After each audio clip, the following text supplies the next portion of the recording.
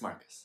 Today I'm going to be talking to you about biology, specifically how to get a 7 in biology in the IB diploma. So IB biology is known to be one of the harder subjects, just because you have to know so much. Another reason why it's considered to be one of the harder subjects is that people don't typically get that good grades in it. And there is a big reason for this, apart from the huge subject matter, which is the test structure where yes, you have some multiple choice questions in paper 1. However, paper 2 is made up of a lot of difficult short answer questions as well as a lot of data analysis, which is where most people lose a huge chunk of their mark. And then there's the long answer questions, which are basically just short essays, which are quite easy. Data analysis is the vital part to get right if you need to get that 7, because it is where people lose the most marks and it is what distinguishes a 5 and a 6 from that level 7. So let's get into it.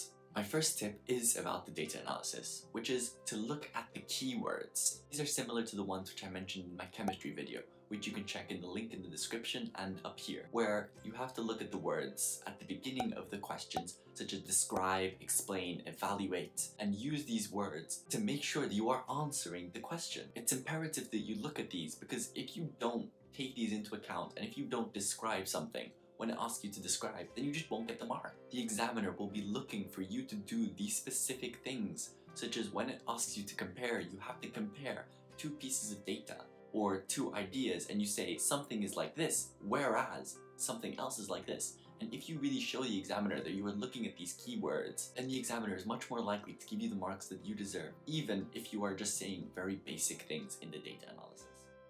So my second tip is also about the data analysis where my tip is to refer to the figures. Often just listing off the different numbers that are present in the data they give you and saying that set 1 has an average of 53 and set 2 has an average of 79 will very often get you the marks because that kind of thing is very common in the mark scheme and people often just don't put that sort of thing because they just don't think of it as it's so simple. It's a super effective way to gain easy marks and it is where lots of people lose marks without.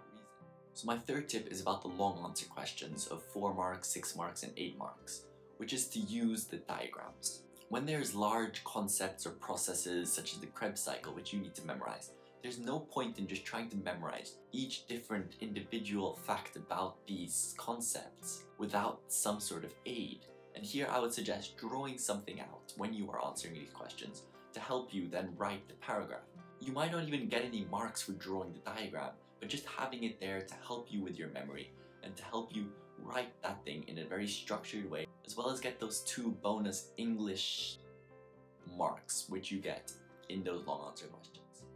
So my fourth tip is about the biology IA, which is to keep it simple. The biology IA is not like the chemistry IA. You don't need to come up with something which no one has ever done before. Because if you do find something that no one has ever done before, it's likely that you won't even be allowed to do it because there's so many limitations in terms of living organisms that you can work with in biology. So I would suggest keeping it simple and finding something that you can relate back to your topics and create a good explanation for. Then you can focus on creating a well-designed experiment which you can then analyze and evaluate the data and make sure that you have the whole writing up process really perfect rather than the idea because that's where you're going to get the marks in biology and the idea itself isn't all that important. So keeping it simple is really vital so that you don't go off and ramble and you keep it concise and related to topics that you've learned so you get those extra marks for analysis.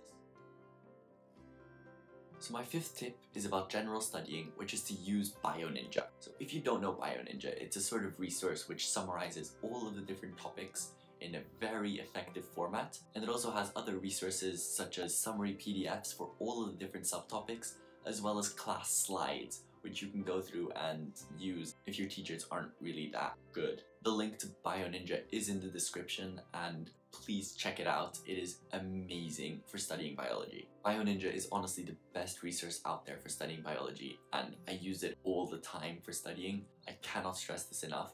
If you are doing biology, you have to use BioNinja. So tip 6 is when you don't really have much time to study for tests, since there's such a large content that you need to know and sometimes there just isn't much time. Ideally, I would suggest that you use the UMPR technique that I outline in this video, where I go over exactly how to study for tests in the most effective way and how I study for tests, because this really gives you the understanding as well as the memorization and practice parts that you need to succeed in biology. However, this is time consuming and sometimes you can't really go through all of the steps. So for that reason, if you are short on time for biology, I would say focus on the big picture and on the big ticket items, such as the long answer questions. Because in a test, the long answer questions might be worth 20 marks, whereas the multiple choice are only worth 10 marks. And if you focus on knowing the concepts and knowing the processes, then you are able to get those long answer questions really down and really push up your grades just because you get those right. Additionally, knowing these large concepts allows you to answer the short answer questions pretty effectively, as well as some multiple choice questions where it might just be recall and this might be related to the big concepts that you've learned. There may be small lapses in your memory and in your knowledge, which can be found in the multiple choice questions, such as the labeling of a certain part of a chloroplast, which you might not know because you just didn't have the time to study it. And this is fine, because if you do understand the big concepts, then you understand that with photosynthesis, the different steps occur in different parts of the chloroplast, and you know what these are called, then you will be able to infer and if you really don't know, then you can just guess, and you have some chance of getting it right. Ultimately, if you lose a couple of marks in the multiple choice questions, it's not the end of the world, because you do have much more valuable questions later on in the tests. So for that reason, managing your time and making sure that you know the large concepts that will come out in the long answer questions is far more effective and a far better use of your time than memorizing everything and trying to get your knowledge perfect, but only covering a short section of the subject. So my final tip is to rely on long-term memorization and knowledge rather than cramming because biology is a very large subject and once you get to the exams it's going to be really tough to keep everything in there into your short-term memory because you can't cram a whole biology syllabus. Instead, make use of your tests to do spaced repetition which uses multiple reminders of the information over increasingly longer time lapses in order to really commit it to your long-term memory. How I would suggest doing this is by doing recaps of different topics over certain periods of time. So if you have a test on topic 2 on February 12th, then you study for the test and do the test, and then you schedule a revisit to that topic a few weeks later, where you will go over that topic and remind yourself of everything that's in it, and maybe do some practice questions just to make sure that you have everything in your memory. Then you schedule it for a couple of months later, where you go over that topic again and you make sure that you know everything. And then you do it for a few months after that, until you get to the exam, where you have already covered that topic five or six times previously, and you know everything in your long-term memory, so that once you get to studying for the exam, it's far easier and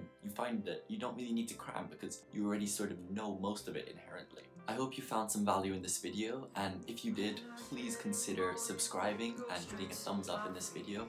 It is free and it really does help me out. That's all from me and I'll see you next time.